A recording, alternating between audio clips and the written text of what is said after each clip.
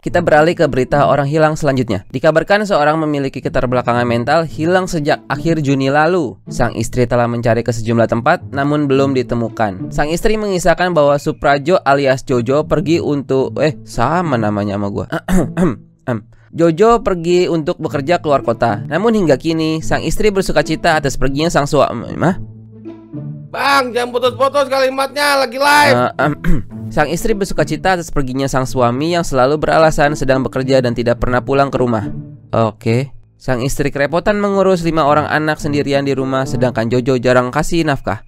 Kok gini ya? Berikut adalah foto terakhir dari Suprajo alias Jojo.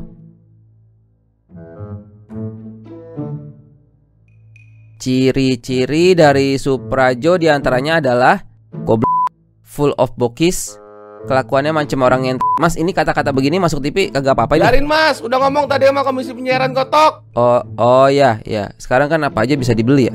Dan terakhir sang isi otaknya cuman bini muda mulu. Mah Papa kan udah bilang Papa kerja beneran. Ini lagi kerja emang kagak lihat apa? Mana mungkin Papa Mas, nikah mas, lagi? tolong mas, kita lagi live mas. Kalau punya masalah pribadi nggak usah diumbar. Tapi ini tuh istri saya lagi Profesional mas, tolong ya Bagi siapa saja yang menemukan Jojo, mohon pesankan kepadanya untuk jangan pulang. Pergi aja yang jauh sekalian. Ogah pulang cuma minta jatah, bantuin jaga anak nggak pernah. Ngasih duit cuman buat mie instan, sisanya buat rokok. Kalau perlu, suruh aja bundir jadi beban masyarakat. Ngurang satu daya masih jangan diperpanjang lagi. ya. Habisin mas sampai selesai, ayo dong profesional Lu ngerti masalahnya gak sih? Lu paham gak Jojo tuh maksudnya siapa? Ngerti, ngerti, kan tadi udah dibacain Orang gak full of bokeh, kelakuan macam orang yang Iya, iya. Udah, udah Mas. Diam, diam, diam, diam.